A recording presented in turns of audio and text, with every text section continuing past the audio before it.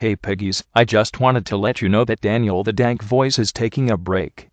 If this video reaches 3 likes, we will show you how to get more FPS, and I will tell him to come back.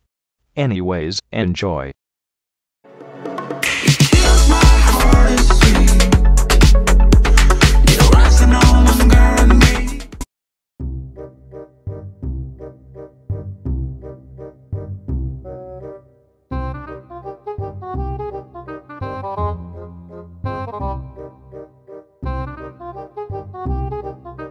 Oh.